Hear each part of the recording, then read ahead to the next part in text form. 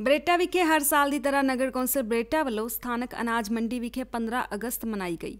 ਤਿਰੰਗੇ ਝੰਡੇ ਦੀ ਰਸਮ ਵਿਕਾਸ ਗੋਇਲ ਪ੍ਰਧਾਨ ਨਗਰ ਕੌਂਸਲ ਵੱਲੋਂ ਕੀਤੀ ਗਈ। ਸ਼ਹਿਰ ਦੇ ਸਕੂਲੀ ਬੱਚਿਆਂ ਨੇ ਕੋਰੀਓਗ੍ਰਾਫੀ ਭੰਗੜਾ ਗਿੱਧਾ ਪੇਸ਼ ਕੀਤਾ। ਪ੍ਰਧਾਨ ਅਤੇ ਐਸਐਚਓ ਬਰੇਟਾ ਵੱਲੋਂ ਬੱਚਿਆਂ ਨੂੰ ਇਨਾਮ ਵੀ ਦਿੱਤੇ ਗਏ।